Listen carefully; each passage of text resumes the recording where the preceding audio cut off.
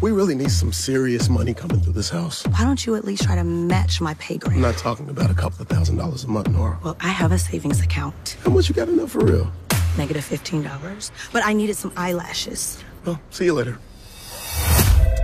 Johnson Furniture Store. Hey, y'all carry sofas? What type of goofy ass person calls a furniture store and asks if they carry sofas? Excuse me?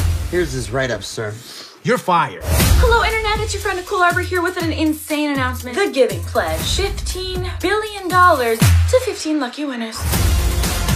Nora, wealth, prosperity. The secret to solving our problems is that we need white people money. I should send a text message to that number. This is Kareem Malik Johnson. Y'all not playing with me, right? Baby, Yes, yes. we are billionaires!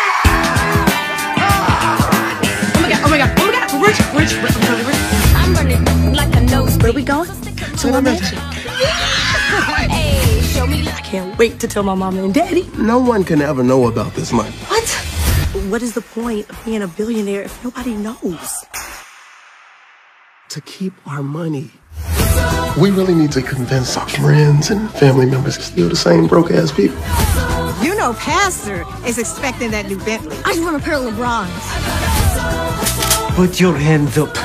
We want white people money. Right. Now we're not greedy. We just want 10 million to split between us. Money, money, money. This man just went from sounding like Saddam Hussein to Tom Brady. I'm confused. I just thought Muslims were on the up and up. Who, who said I was a Muslim? I'm Baptist. Make Money, money, make money, money, money.